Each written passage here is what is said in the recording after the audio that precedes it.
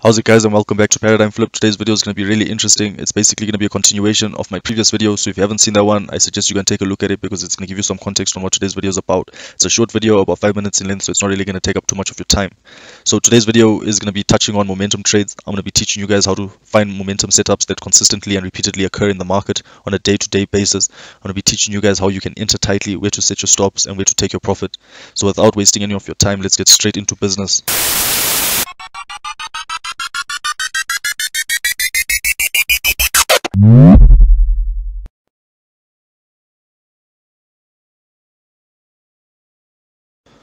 Okay, so this was the 13th of June, the day that I took the trade, and the area of the trade was around here, and it was for a sell trade, and I'm going to be teaching you guys how to find these setups consistently, and basically what we're going to be looking at is this little indicator below, right, and basically this is my little way of quantifying the strength of a move for my momentum setups, and I'm going to be breaking down this indicator and how to use it. And so you can have a deep understanding on what's actually going on here. Now i know a lot of people are scared of indicators or indicators are really shunned. People like clean charts. But uh, let me just let you know that this is not a lagging indicator. This is actually just an indicator that uh, tells me what's actually happening in the market real time and it's not lagging. Okay so let's just uh, break down this indicator quick so what we're looking at here when we're looking at this uh, what we have is the simple MACD right? And I've set the fast EMA to 1 and the slow EMA to 2 and I've set the trigger line to 1 which is in red here just to hug the difference between the 1 and the 2 which is the histogram shown here. And we also have some Bollinger Bands right? The Bollinger Bands are set to a period of 1500 and a 2 standard deviation. Now I've set the period to 1500 to have a large look back so I can have a large data set to um, to analyze and you'll see soon why this is so okay? And basically to get into the theory of this just real quick right? So let's say this is our MACD right? This is our zero line here so we got our MACD okay? And this is our zero line here. And let's say we have our two standard deviation bands here right above and below and basically what's happening is that you have the difference between the one and the two moving averages right in the histogram. And what this is basically showing you is if you take a look at price if we just draw a one period moving average on price so let's say this is a one period moving average and then we have a two period moving average these two moving averages are going to be hugging each other very closely. And basically what we are looking at is the strength of a move. So if these moving averages are close together right it's going to show a small change on the histogram. So for example if you get a small little move like so right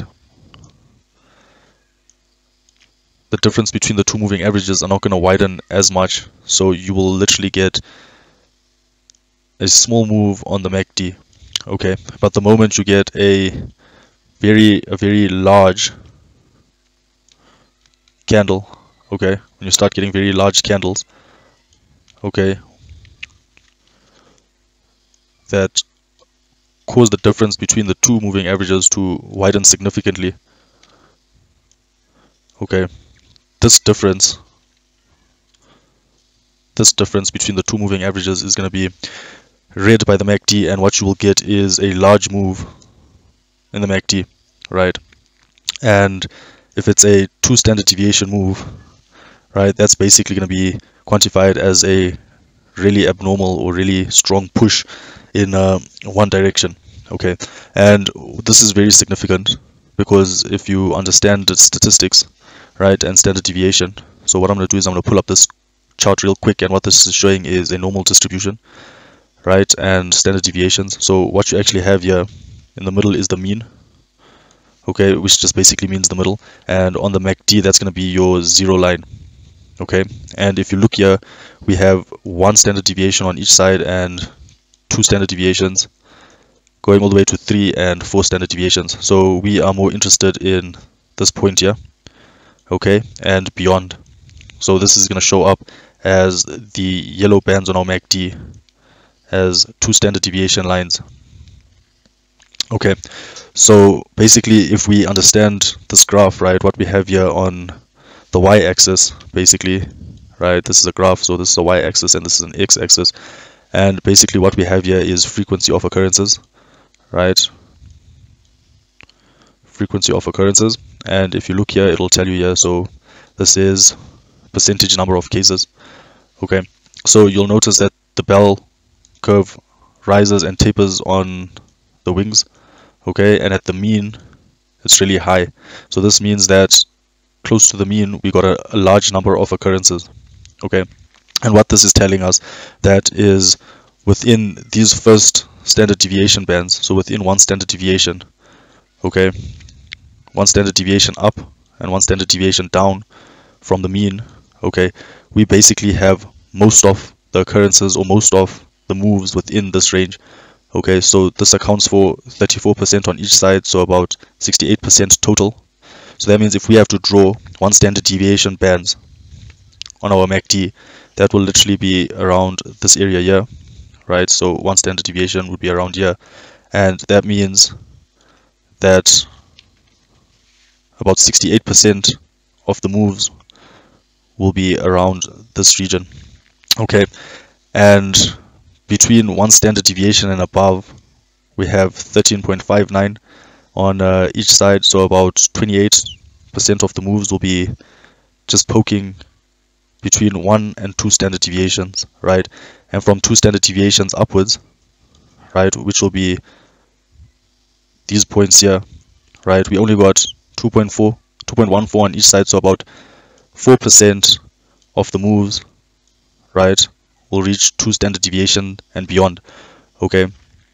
And this is uh, really why we have the large look back period of 1500 so basically when we are looking at our MACD what we are looking at is the last 1500 periods right? And based on the last 1500 periods okay when we reach a two standard deviation move right basically what it's telling us is that this is literally a, a move that occurs about 4% of the time on both directions okay? Whether it's up or down it's 2% in each direction. So this occurs 4% on average 4% of the time okay? Based on the last 1500 uh, periods. And basically that's why we use a large look back period. So basically I can identify um, with higher accuracy what an abnormal move is right? So within the last 1500 periods we know that such a move that goes to two standard deviation and beyond, right, only occurs 4% of the time in the last 1500 periods, right? So when we get such a move, right, it really tells us that this is an abnormal move, right? And this basically shows us that it's a really strong move. And when we see such a move, we are interested in um, in looking for trading. Okay, so that's basically the theory behind the indicator. So let's go and take a look how to find setups. Okay, so just getting back to this trade here. This is how I framed this setup. Right so we see that strong two standard deviation move lower on this candle and basically that's telling us that we got a really strong push lower. Right and basically these are the kind of moves that you want to see if you want to see continuation. So most likely these moves are gonna have some follow through and we're gonna be waiting for a little pullback. Right one or three bars, like about one to three bars. So you're gonna find a move that either has one bar pullback, right, and then a continuation, or about three bars, for example, in this case, right. Um, and just know that this doesn't um, occur all of the time, right? If you just have a quick look here, we had a two standard deviation move, right? We did not have a pullback, right? But if you consider these wicks, okay, right? That's basically a pullback before a continuation lower, right? But we'll get into explaining those. And if you look at the next candle, still a two standard deviation move lower, so we can expect a continuation trade lower, but this one reverses. Now, it's important to note that these setups, right, do occur, right? So these moves do occur only 2% of the time to the downside and 2% of the time to the upside, so about 4% of um, the time. So it's important to note that when you do get a strong move, right, no one's going to be holding on to this trade. Most likely there is going to be um, a bit of profit taking. okay? And you really want to see that pullback so you don't get uh, caught on the wrong side of the trade or selling too low. Okay? So if we also understand how trends work right just based on simple market structure okay? If you have for example a downtrend right you always get a move lower you get a pullback okay? And the trend goes lower. However one of these pullbacks will be the reversal that ends up reversing the market. Okay so you obviously have a pullback here you have a pullback here you have a pullback here and at this point in time here this is also a pullback and we would be expecting the trend to continue lower right? But not all of these moves higher are going to be pullbacks. Okay one of them is actually going to reverse the market. Okay so it's the it's the same concept here. Okay when we do get a push lower at this point. Okay we can expect it to either continue or we can expect it to reverse altogether. And actually these candles are also good reversal candles okay? Because the fact that we got an abnormal move lower okay? So this basically means that this would be a good area for a lot of traders to start taking profit right? And start entering longs because if you if I just for example put a moving average on the chart just to explain a point that I'm trying to make here okay and I just zoom out a little bit here. What you'll notice is that price is always moving away from the average and coming back towards the average moving away from the average coming back towards it right? Moving away coming back towards it moving away coming back towards it. And then once we get across we move away from it from the other side and come back towards it. Move away come back towards it move away come back towards it move away. We come back towards it and one of these pullbacks is going to end up being the reversal right and we move away to the downside and we come back towards it. We move away we come back towards it. Now there are obviously two types of traders. There are traders that trade with the trend right? So they trade the continuation. And then there are also traders that mean revert. So they trade at extremes. So when price moves far away from the average they trade back towards the average. Okay now we will touch on this uh, in a different video. It's uh, beyond the scope of this. But uh, basically when we do get a strong two standard deviation move away from from from the average right let me just go back to uh, the area here so when we do get a strong push away right we can expect a move back towards what towards whatever average uh, you're looking at and very often these pushes right will end up becoming the reversal right because it's a good area for a lot of traders to get involved right it's basically an extreme and everyone is basically short and exposed to the long side and you will get a squeeze okay and that's basically the idea. So let's just take a look at some setups. Excuse me. And uh, see how this uh, works. And basically uh, we'll be going deeper into it. So just bear with me. Okay let's let's take a look at some setups see how often this occurs and how we can actually be profitable using this. So let's just go back in some data and have a look at these setups. So yeah we get a strong standard deviation move lower okay we get a pullback right? We got one two three four bars which is still fine. It's very flat it's very consolidating right? And we get a push lower. Okay we got another two standard deviation move right? We get a one bar pullback and a continuation lower. Okay? And that's basically all that occurred that day. Looking at this area here we can see we got a two standard deviation move lower one bar pullback and a continuation lower right? That candle was also two standard deviations and we get a one bar pullback and a continuation lower. And same thing two standard deviations one bar pullback and a continuation lower.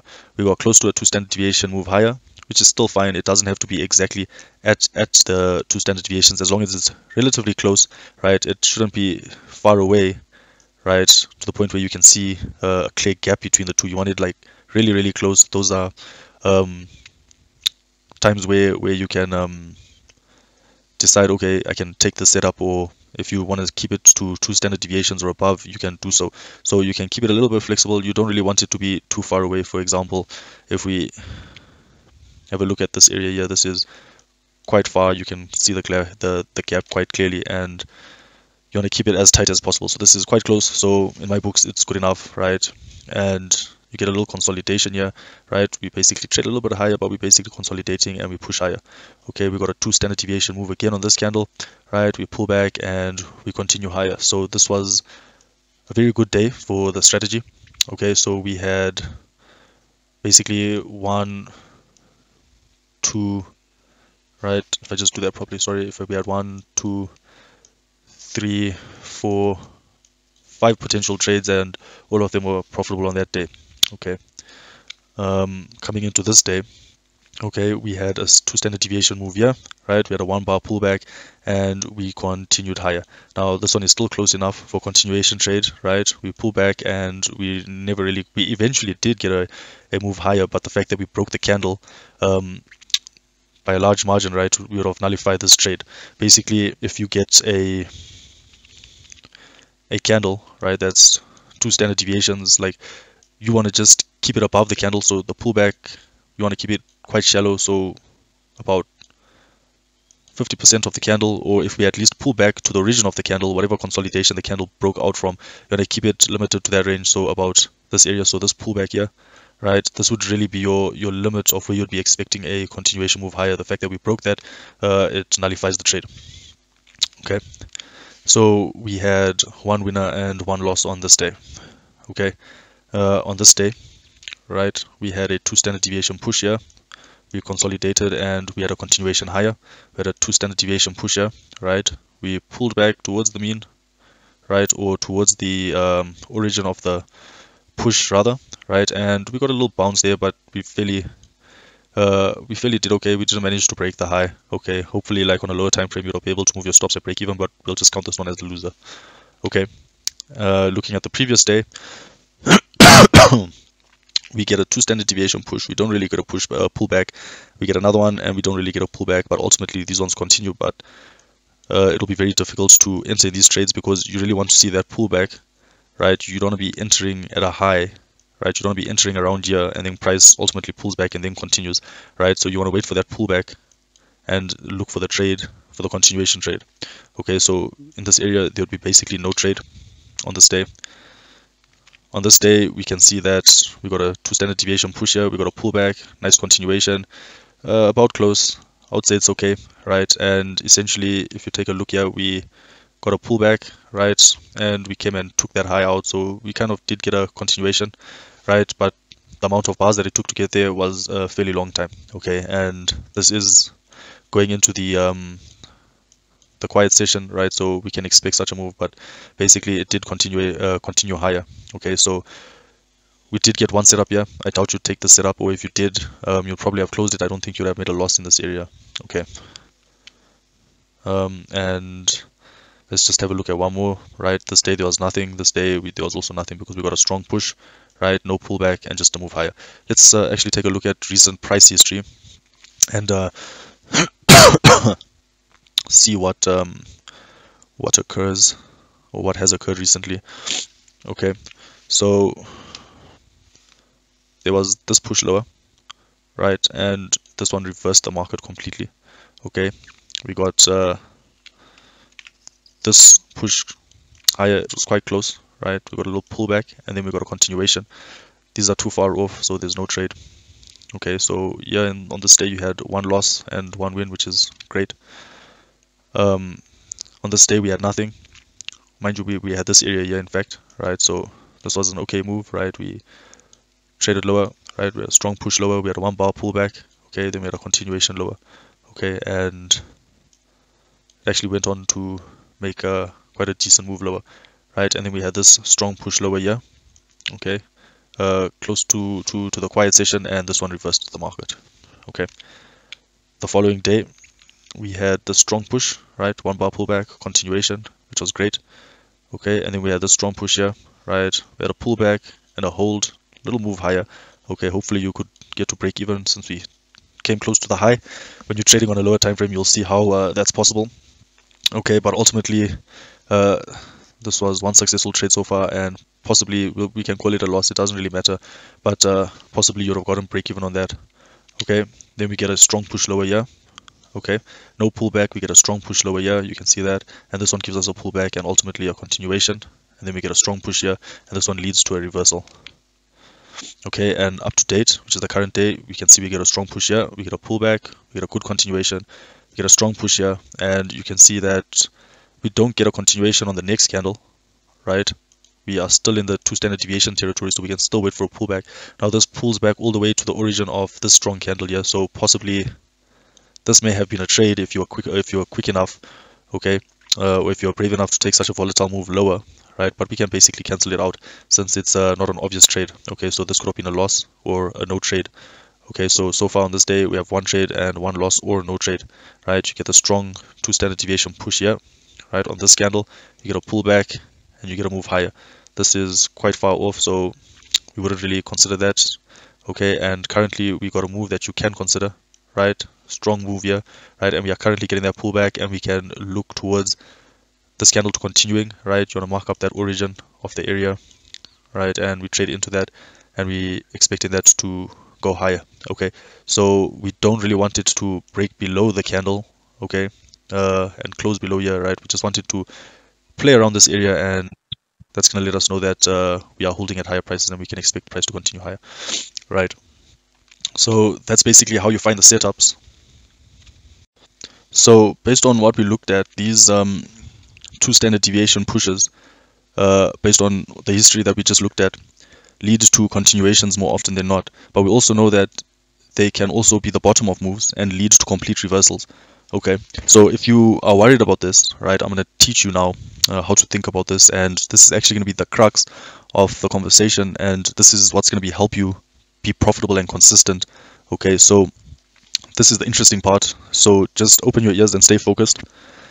Now, if we assume that these strong pushes, right, lead to continuations and reversals, and we assume that 50% of the time they lead to continuations, and the other 50% of the time, right, they lead to reversals.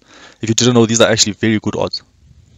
Okay, and what I'm going to do is show you how, just making this simple assumption, right, there are ways to increase the odds, okay, and uh, we'll touch into that okay? But just a simple assumption at face value right? We want to look at it raw right? How you can be profitable right? And stay focused because this is actually what is going to elevate your your your trading okay? So if we actually just take a look at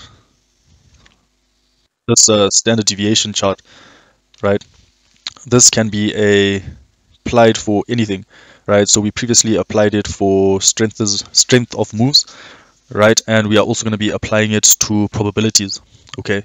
So we know that the probability of, well, we are assuming that the probability of a two standard deviation move, right? So we have our two standard deviation move, there's our large two standard deviation move, okay? This could either reverse, right? Or be a continuation, right? And if we assume that the probability of it reversing, right, is 50, 50%, right? So we're assuming 50% chance that it will reverse and there's a 50% chance that it will continue higher, okay? Now,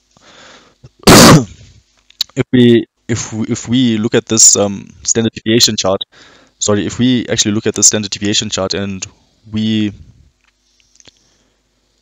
call this the frequency of trades, right? So if this is the frequency, frequency of trades, right?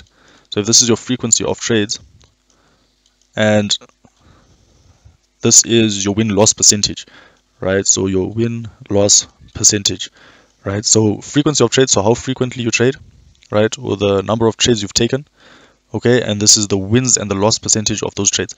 Now, what you'll find is that if you apply these probabilities of this strategy, right? to this curve, right? If your strategy has a 50-50% chance of winning or losing, so for example, if you are taking continuation setups, right, and 50% of the chance, uh, sorry, 50% of the time they are actually working out, right, and you stick to only taking continuation setups, right, then your strategy will fall here. And I want us to put the brakes on this for a bit and think about a coin toss. Okay, let's say you are flipping a coin and it's a 50-50 chance that you get heads right? And there's a 50% chance that you get tails. But let's say you remove the tails and you just stick to choosing heads, right? So every coin toss that you that that you take, you're always choosing heads, right? If you flip that coin 10,000 times, right? I can promise you that with a high probability, okay, you will see that close to 50%, right, of your coin flips landed on heads It could be plus or minus a bit, but very close to it will be insanely accurate, right? How close to 50% of your coin tosses will be close to heads, right? And basically, that's because a coin flip is a 50-50% probability. Now, that doesn't mean if you flip a coin and you call heads and then you get tails, right? It doesn't mean that the next one, so you lose one basically. If you if you flip a coin and you call heads and it, it lands on tails, right? So you basically lose one. That doesn't mean that the next one has to land on heads, right? In order for you to be plus one, because that will equal 50%, right? That's in the short term, and that doesn't mean that that will happen, right? We're talking about over a large sample, right, of uh, of data. Okay, so you could get heads, heads. So you could win, win, win, and then you could lose, right? So you get your your your your tails, right? You get tails, you get tails, and then you could start winning again, right? Then you could start losing, you could start losing. But over a large sample of coin flips, right? If you flip that coin 10,000 times, okay, and stick to heads, you'll be right 50% of the time. Now, it's the same thing with our strategy over here. Okay, if we assume that our strategy is 50%, right, we're trading the continuation of these uh, large standard deviation moves, right? If it has a 50% chance of winning, right, that means that most of our trades, right, know, our frequency, most of our trades will be inside this band, will fall inside here. So 68% of your data or your trades will fall will fall between the first two standard deviations. And if you look at one standard deviation, you can assume this is a loss, a loss. So this is two losses, and this is three losses, and this is one win, this is two wins, this is three wins, right? So most of your data will be one loss, one win, one loss, one win. Now that doesn't mean you can't get three losses in a row or four losses in a row, right? But look at the odds of that occurring. Okay, you have a 2.14% chance of taking two losses in a row, right? Or three losses in a row. Okay. Now, if you do end up taking, now it doesn't mean that you can't take three losses or four or five losses in a row, but you'll find a lot of traders end up getting scared after taking two or three losses and they don't want to trade anymore, right? But if you stick to the strategy, right, look what happens. Okay, so let's say you take three losses in a row, right? with a 50 50% with a 50% win rate it's very difficult for you to lose three times in a row and even if you do right it's most likely that the next trade will revert back to the mean okay so the next trade will fall within this area okay so it's most likely that your next trade will actually be a winner okay now it doesn't mean that you can't lose four times in a row or three times in a row but what means what it actually means is that over a large sample of trades all your trades are going to be most of your trades are going to be within this band, right? And your your your your win rate is going to be very close to 50%. Now, those are very good odds, right? Because we're not flipping a coin, right? You must remember when you flip a coin, you either call heads or tails. And if you if you call heads and you actually land on tails, right? You win one or you lose one. So for example, if you call heads and it lands on tails, right? That's a loss. Right? So you lose one, right? Now, if you call heads and it lands on heads, you win one, right? So you're only making a 1% gain or loss on each flip. Now, the market has better odds than that, okay? If, when you're trading the market, right, you can risk 1%, right, to gain 3%, okay? Now, with a strategy that works 50% of the time, and you have a risk reward of 1 to 3, those are really good odds okay and if you keep playing this game right all trading is right at the core of it all trading is is taking trades within a statistical probability right? And only trading when that statistical edge occurs okay? And if you keep playing that game you will end up profitable. So if i just explain something simple here to you if you simply assume that you're flipping a coin right? And it's a 50-50 if it lands on heads or tails okay? But let's just mix up the numbers for a little bit. Okay, let's say that every time you are correct, right, you win a dollar. Okay, and every time that you are wrong, you lose 90 cents. Okay, now you have an edge. Okay, this is a game that you should play over and over again. Even if you lose 10 times, you should still play this game because over 10,000 right, over 10,000 coin flips, right, you're going to keep on collecting, right? If you if you take 10,000 coin flips, okay, and over a large sample set of data, we know that on average, right, the, the strategy is going to have a win rate of 50%. So 50% of the time you are going to be right, okay, and the other 50% of the time you are going to be wrong, okay. So if you're winning a dollar every time you are right and you're losing 0 0.90 90 cents every time you lose, right, over a large sample set, you are going to be profitable, right? Now, this is basically how the market works or how you can actually be consistently profitable in the market because you only need right a 30% win rate or, or something that occurs 30% of the time a strategy or, something that reoccurs 30% of the time for you to make profit if your strategy if your if your risk reward is modeled around 1 to 3% so you're risking 1% to gain 3% right? Now that's basically the key behind it okay and that's just based on an assumption. Now there are obviously ways that we can increase the probability of um, these setups. And one of those is simply adding something like a moving average. Okay so if you only take the trades in the direction of the moving average so if we use the larger moving average right? And this is basically going to give you the direction of the macro trend. So you're not using the moving average as some dynamic support or resistance. You're just using it to give you the average of the larger trend okay? And if you tell yourself that okay for example i'm not going to take trades where price is far away from the moving average okay? Because we know that when price moves very far away from an average there's most likely going to be a reversion back to the mean right? So i'm going to take trades that only occur close to the average right? Now that increases your odds of success right? And if you tell yourself right i'm only going to take trades in the direction of the larger average okay? So that will filter out for example a lot of these trades. Okay so this was a sell trade that didn't work out but the average is basically up right? So you're only taking trades in the direction of the larger trend right? Right so you're basically using the moving average as a filter okay? To filter out one side of the market over the other right? And that's going to reduce the number of trades you take but it's going to be it's going to increase the number of winning trades you get okay?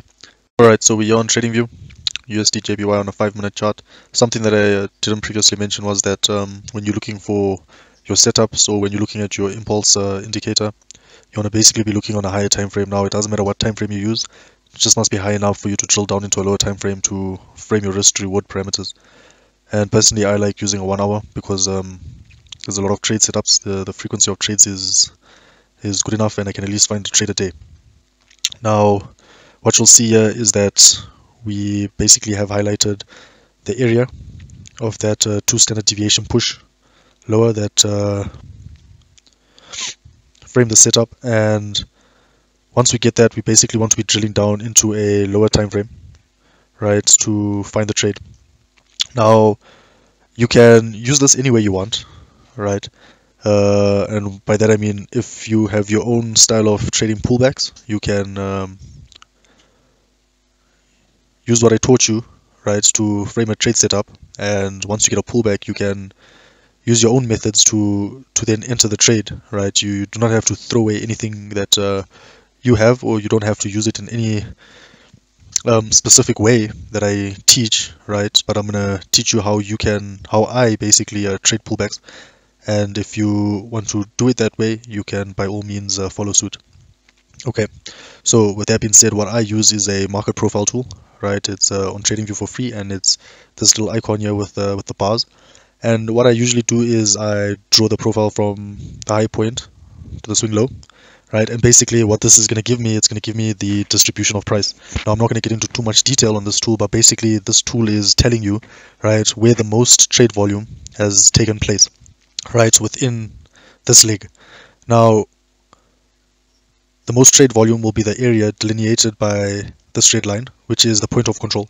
Now, there are other distributions in price. So if you take a look up here, we have a distribution. So there was a, a bit of volume up there. And there's a distribution here. So there was some volume in this area as well. Right. And these areas that taper out basically have the least trade volume. Right. So those are usually rejections. Now we want to highlight this area right, with the most trade volume, and this is known as the POC, also called the point of control.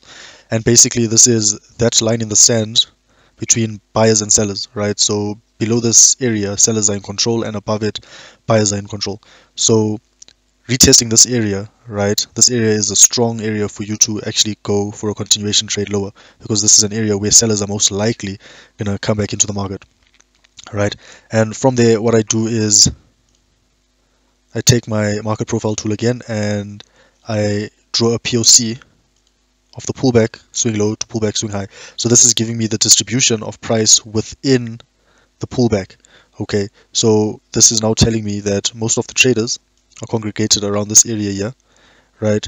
So above this level, right, buyers are in control and mostly profitable, and below, right, buyers are losing money and sellers are actually making money, right?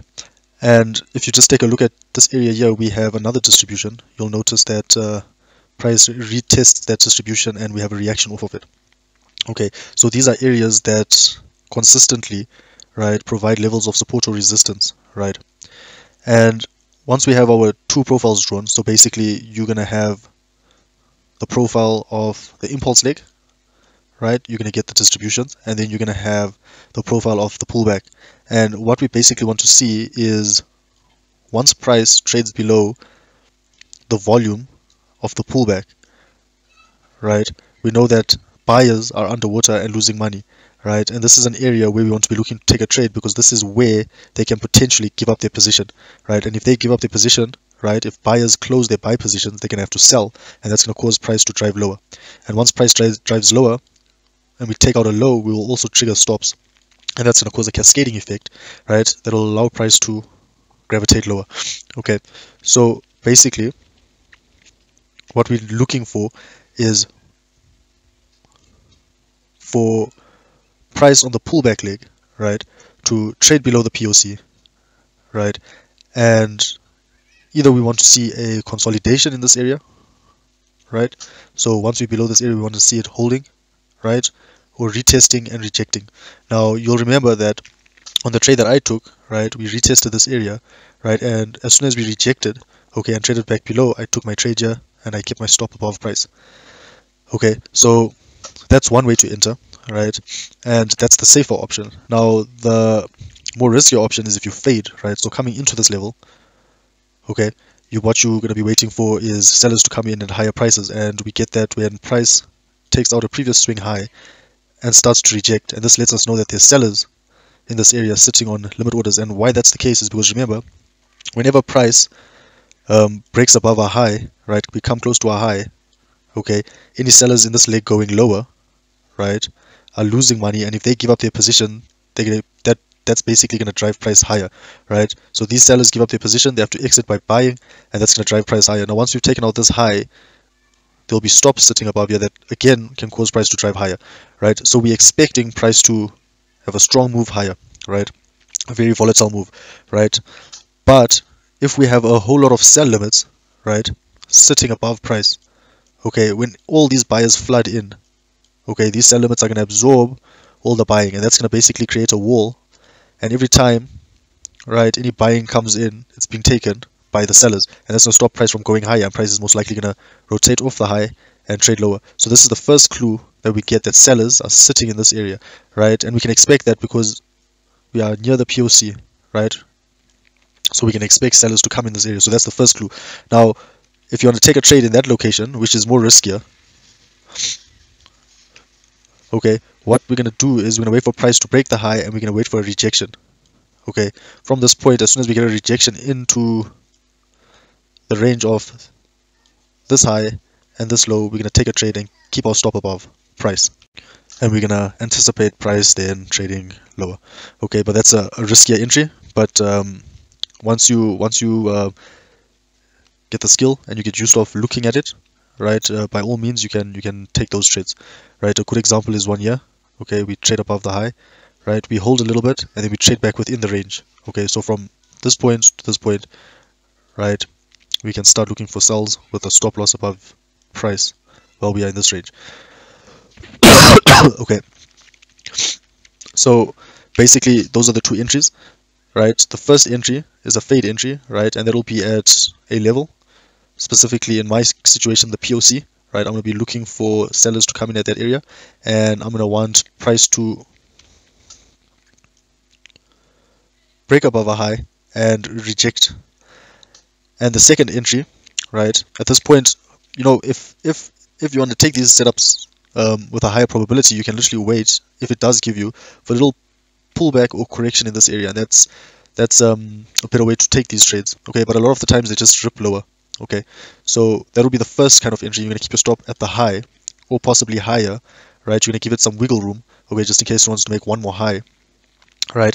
And the second entry will be the safer trade once you've traded below the volume of this pullback, right? So we get our distribution of the pullback, right? Let me draw that properly, right? With our market profile tool, it's going to show us the mountain or the distribution, or the area where there's the most volume in this pullback. And once we trade below that level, right, and we know that buyers are upside down, we're going to be looking for a pull.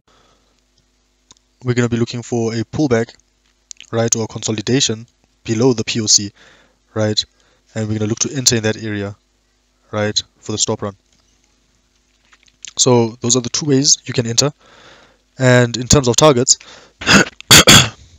what you're going to want to do, so in terms of targets, right, what you're going to want to do is draw a Fibonacci from the pullback leg to the high point, right? So once we've created a high, right, and you are now assuming that uh, you got a setup to take price lower, right? You're going to draw that uh, Fibonacci over the swing low and the swing high, right?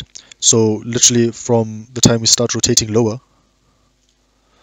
at this point, right, once the high is formed, so you pull back, and once the high is formed, right, you're going to draw a fib from this low to this high, right, and you are going to be targeting, obviously your first target is going to be the first swing low, and then you're going to have a second target of 50% extension of this balance area, and your main target is going to be a one-to-one -one of this balance area. So if you measure this balance area, take the range of this balance area and extend it out in time, extend it out in range, you get a one-to-one -one and that's going to be where you're looking to take your profit. Okay, now this is a very powerful tool, right? And we can just go through a few examples here, right? If I just for any reason take a look at this pullback, for example, right? We don't reach a one-to-one, -one, okay, but we reach the 50%, right? And we reach there with precision and we turn lower. Now, if we look at, for example, this pullback, right, in this balance area. So if we take, um, sorry, if we take a range of this area down to the low, right, and we can see where price has rejected. Okay, now if we also take a pullback from this, a Fibonacci from this pullback, right, from the high down to the low, right, we can see where a one-to-one -one is and it turns on the dime. Okay, if we also look at, for example, the slow pullback here, right, take it from the high down to the low, right, and we just draw up the one-to-one, -one, we just fall short, right, but quite close we take a look at this range, right, from high to low, we can see where a one-to-one -one is, and we can see that's where price indeed turn, indeed did turn around. And if we look at this range, right, from this high down to this low, okay, we can see where price turned around. Right my apologies. Okay there we go. We can see where price did turn around at that area. Okay so that's how you're going to be setting your targets. Now you don't actually have to wait for price to reach these targets. You could use if you can find a tight enough um, entry right within this area if it gives you a tight enough entry where you get a risk reward of 1 to 2 or 1 to 3 and the target is by the 50% right of the balance area then if you don't want to be greedy and want to be more conservative then by all means right you are able to take your full position off at that level. If you want a larger risk reward, you can wait for the full target. now, personally, my trade, right, I entered around here. okay and my stop was around here and I took my profit around this area now this was good enough for me right I could have held it all the way down to the one-to-one but the idea is not to be greedy and not to stretch your your your, your edge and put probabilities against you right? As long as you're getting a 1 to 2 or a 1 to 3 right that's good enough. But if you want to be a casanova you can by all means take profit at a 1 to 1 there's nothing stopping you. So that's basically the end of this video. And I really hope you you learned something. If you enjoyed the video please uh, let me know in the comments below. If you have any questions let me know. Um, like and share. Help someone else. Um, please leave a like subscribe this is uh, free content and you're not really paying anything for it and I do appreciate your time and giving me your attention and I just hope that I can further help and better uh, traders out there that are struggling to make something out of the market. So hopefully this video was really insightful for you. And uh, till the next video, stay safe. And thank you for your time. Okay, cheers.